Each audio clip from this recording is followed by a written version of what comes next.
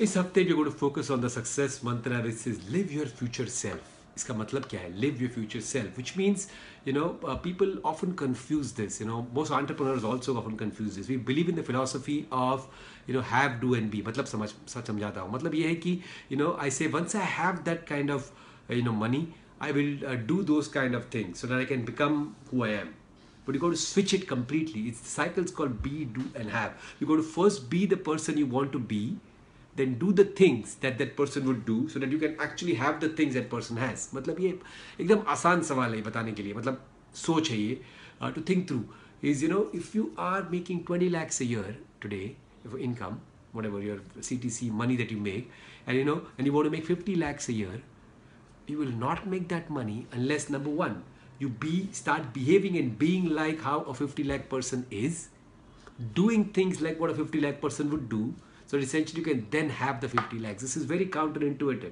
But you know, that's the trick. You got to follow the be, do, and have cycle. So jump one step up in being, doing, so that you can have the next step up as well. So live that philosophy of live your future self. Example Jack Canfield talks about it.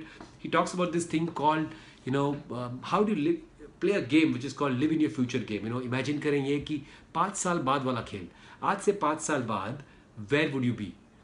The way you have, what you car you drive, the dress you wear, everything. If you can play that game like that and get a group of people whom you know who are trusted enough and start playing this, you have so many parties. Why not organize a five-year future party? How would each one of us be five years down the line and call them and start being being like them?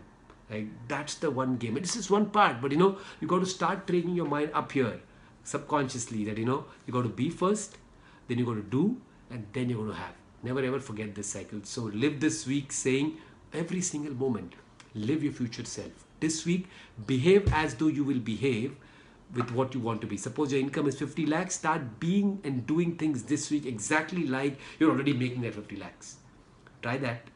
That's the success mantra for the week. Thank you.